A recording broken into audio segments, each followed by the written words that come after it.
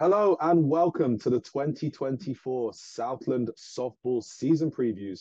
And I'm joined right now by the Lamar University Cardinals and head coach Amy Hooks and Cam Niedenthal. Cam, Amy, thank you so much for taking the time to chat to us today. How are you guys doing?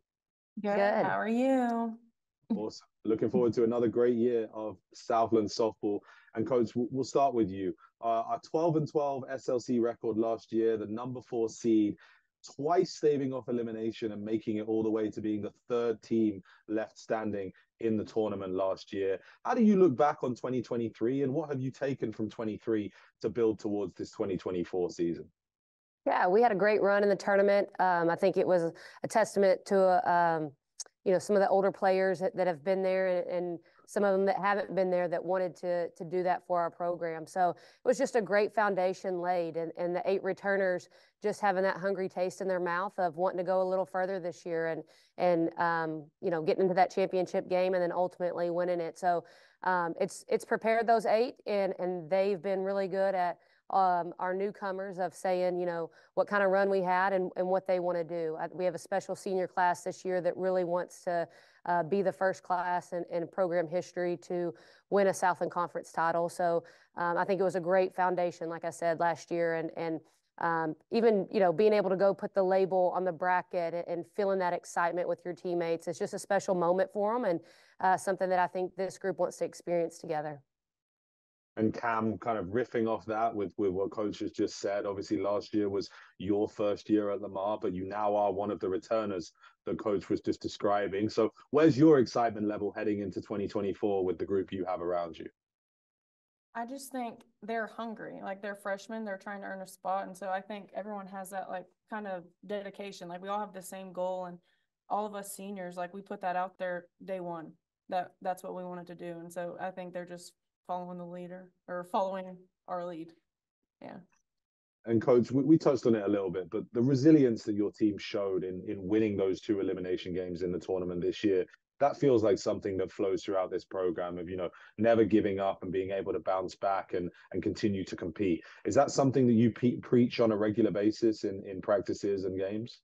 I mean, we just try to formulate practice in our scrimmage games to to be really difficult in moments and um, we talk about, you know, in one of the innings, it's a walk-off inning and trying to walk it off and kind of building those pressures inside those um, controlled environments. And so we work on it a lot. Um, but I think the biggest thing is from day one, we tell them like, you go be history makers, go rewrite the history book. Um, it's never been done here. And when you hear that and, and you you want to be a part of that first, there's a hunger and a, and a deep desire to to want to work hard and, and It'll, it'll, never be taken away. That first team that wins, brings it home to Beaumont, wins the Southland Conference title. Uh, it'll never be taken away from them, and they'll be celebrated for years to come. So um, we talk about it a lot, uh, but it's up to these guys to go out there and perform. And um, the bond they've created this year and just kind of rallying around those goals that they have set um, has been really great to see. So we're ready, you know, to get out there and, and compete against somebody other than ourselves. But um, it's all internal. What they're doing in the locker room, what they're doing on the field, and just as a team is is what's going to be really special about this group this year. And speaking of this group, coach, obviously Cam touched on you know the hunger of the the newcomers and trying to add to that returning class. But you know it is a young team throughout this roster. Um, what does their senior leadership you know contribute to forming this team and how you want to create the culture with so many incoming newcomers? Right. Well, not to let Cam get emotional, but uh-huh. uh, this is it for them, uh, and the seniors know that, and, and, they have a goal in mind, and um, you know they're they're telling the underclassmen that every day, like it, it's go time, and and our season ended as juniors in the way we didn't want it to end. We wanted to be the last team on that field in, in Lake Charles and hosting that trophy, and um, just having that feeling in their mouth and um, saying, "Hey, let's rally around each other and let's go get it." And I think something that's really cool is the underclassmen want it just as bad for the seniors, and has they've expressed that. So um, this is go time for this group, and uh, everybody has a number. Everybody's limited in their uh, collegiate career, but for the seniors, that it's a little shorter than than everybody else. So um, I think when you have that camaraderie and, and that culture in that locker room. Um, and you really want to do it for the person next to you and for that senior class and want to send them out on a good note, only good things can happen. And, and again, it's a testament to what the team's doing and the individual players of getting everybody on board. So, so Cam, coming from what Coach just said, what would you say is the standard that you guys as seniors set for the underclassmen as they come in and join this Lamar team? Well, coming off of last year, like we just want to win. We want to go farther than last year. Like our goal is to be better every year, and especially now, like all of us seniors, like we're we don't want to end our career in like Char- I mean Hammond, right? So we want to go farther than that, and so it's just I don't know, come here and work hard.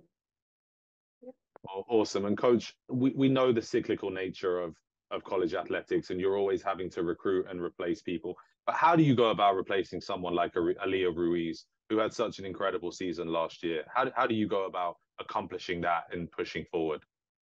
Yeah, well, this is the first year as a head coach at Lamar that I haven't had Aaliyah on the pitching staff. So she came in here with us. Um, she she set some records while she was here and just a uh, fierce competitor in the circle. But Uh, what was good is that we had Aaliyah when we had Kari and Fedwa. So Aaliyah has been able to help them last year and now kind of just pass the torch to them. And we have um, four new ones in the bullpen this year, but really relying on Fedwa and Kari who have uh, SLC tournament experience um, and then just a whole year under their belt with Aaliyah, who's done it for a really long time. Uh, the torch is yours. And so it's really on their shoulders now. Uh, Aaliyah was a great piece. Um, and just every year you're, you're losing some of those good pieces. But again, she helped lay the foundation. I think she did a great job passing the torch to those guys. And now Kari and Fedwa can can put everything that they learned and the experiences they gained last year into our four uh, new pitching staff or pitchers, which I think is just they've done a great job doing that. And uh, it's really big to get them experience. Both of them got the ball in the tournament in some big game situations. Fedwa coming in the NSU game and, and closing the door there, and um, so they have that hunger, they have that taste, and, and then they can pass that down to to our newbies. And Cam, we talk about wanting to win, but also, you know, we know it's a tough schedule that you guys have built. One of the names that jumps out straight away is obviously the University of Oklahoma. What does that opportunity mean to you to get to test yourself against the best team in the country, the defending national champions? Like it's it's scary. Nobody really wants to be on their schedule at, at first, but now we're like we're kind of hyping it up all together as a team. We're calling it we're gonna say the biggest upset of the century. Stuff like that. I don't know. It's just gonna be good practice for us. It doesn't it doesn't count towards conference. It doesn't affect us getting into the tournament at all. It's just it's just a game.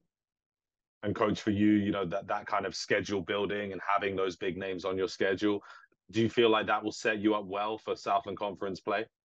Absolutely. I mean, I mean that's the number one reason we do it. But I think the biggest thing is these guys get an opportunity to prepare against the defending national champions. And if you can, if you can prepare for the best team in the nation, um, that's just going to help you prepare for the the Southland Conference um, opponents. And and so I just think that it's a great opportunity for them.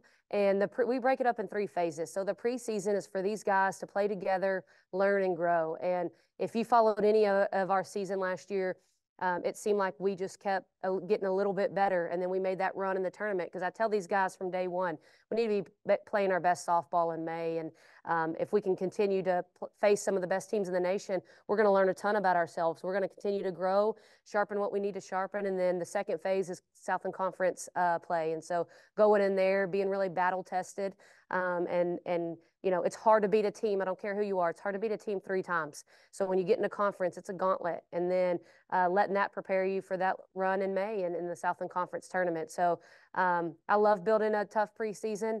Uh, and, you know, who, who wants to play OU? Uh, we'll, we'll play OU. So uh, we're excited about it. Cam, coach there just described her preseason as tough. Uh, how would you describe preseason? How has preseason been for you as you got ready to get started here against Tarleton in a few days?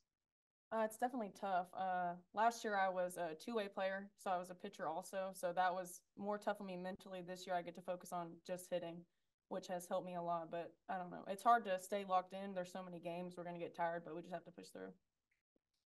And coach, lastly for you, I just wanted to kind of touch on your feelings overall about the Southland on the whole. Obviously, you've been in the league for a number of years now. When you look up and down the league, how do you view the Southland and where it stands softball wise? It's a sleeping giant. I think people sleep on the Southland a little bit. Uh, we continue to get better every year. The coaches are doing a tremendous job uh, bringing in some of the best players in the nation, and then um, going to play tough schedules. I think the Southland just isn't afraid to go play who they need to go play to get better. Um, but if you followed the Southland uh, for as many years as I've been in the league, it always comes down to the last two weekends, and and it's always we're always jumbled up. Uh, it could be anybody's conference, and so I just think that you know the conference c- continues to get stronger, and then we continue to pour money in uh, as a conference, and then as institutions across the Southland Conference uh, into softball to, to to make it a premier sport, and it's a grow it's a the, one of the fastest growing sports. So. Um, you know, kudos to all the head coaches in the Southland and then administrators just really wanting this sport to take off. Um, it's it's been it's been awesome. Awesome. And Cam, just lastly, I want to take us just inside the locker room for just a second and get to know one or two of your teammates a little bit better. So, you guys as a team, you're in a karaoke bar. Who is the best singer on the team? Who would be the best karaoke singer? And then, secondly, what would your karaoke song of choice be? Um, the best singer would definitely be Cariana Mitchell. Oh. You didn't think so? Yeah, I like it. And then my karaoke song would probably be Love by what's her name? Keyshia Cole. Something like that. Nice. Well, can we can we get a promise that if uh if you guys lift the trophy in Hammond in May, that we'll get you on the mic singing that in front of everyone? Well, I'll do, I'll do it. Uh, now. I it can don't be a care. duet. I'll be right there with her. Well, brilliant. We'll look forward to that down there uh, in May. Coach Cam, thank you so much for taking the time to chat to us today. Great to get to speak with you, and best of luck for the start of the 2024 season. Thank you. Thank you.